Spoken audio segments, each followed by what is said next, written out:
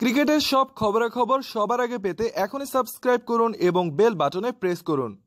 এবারের বিশ্বকাপের আগে বেশ ছন্ন ছাড়া ছিল অস্ট্রেলিয়া দল। দলে অনেকদিন পর যোগ দিয়েছেন ডেভিড ওয়ার্নার ও স্টিভ স্মিথ। এক বছর ধরে দলের বাহিরে ছিলেন এই দুই তারকা। বিশ্বকাপের আগে অস্ট্রেলিয়ার দায়িত্ব তুলে দেওয়া হয় অ্যারন ফিঞ্চের হাতে। তার অধিনায়কত্বে বিশ্বকাপ খেলছে ওজিরা। অনভিজ্ঞ এক অধিনায়ক তিনি। সেটা প্রমাণ দিয়েই বিশ্বকাপ থেকে বিদায় নিতে হল অস্ট্রেলিয়ার। সেমিফাইনালে ইংল্যান্ডের কাছে আট উইকেটের বিশাল ব্যবধানে পরাজিত হয়ে বিশ্বকাপ থেকে ছিটকে যায় অস্ট্রেলিয়া। ইংলিশদের কাছে সেমিফাইনালের ম্যাচে পাত্তাই পায়নি ওজিরা। এই ম্যাচের আগে ডক আউটে এমন ভবিষ্যৎবাণী করেছিলেন কেভিন পিটারসন। তার মতে, অস্ট্রেলিয়া ইংলিশদের কাছে পাত্তাই পাবে না। ডক আউটে তিনি কথা বলতে গিয়ে টেনে আনেন বাংলাদেশ ও পাকিস্তান প্রসঙ্গ। এ সময় তিনি বলেন, এই অস্ট্রেলিয়া দলের কোনো যোগ্যতাই ছিল না সেমিফাইনাল খেলার। এই দলের চেয়ে সেমিফাইনাল খেলার যোগ্য দাবিদার বাংলাদেশ ও পাকিস্তান। অস্ট্রেলিয়ার চেয়ে ভালো দল তারা। আমি মনে করি অস্ট্রেলিয়ার চেয়ে এগিয়ে বাংলাদেশ পাকিস্তান। ক্যাবিন পিটারসনের ভবিষ্যৎবাণী সত্যি হল, ইংলিশদের কাছে পাত্তাই পেল না ওজিরা। আর তিনি বলে দিয়েছেন, এবারের বিশ্বকাপে যোগ্য দাবিদার ছিল সেমিফাইনাল খেলার বাংলাদেশ ও পাকিস্তান।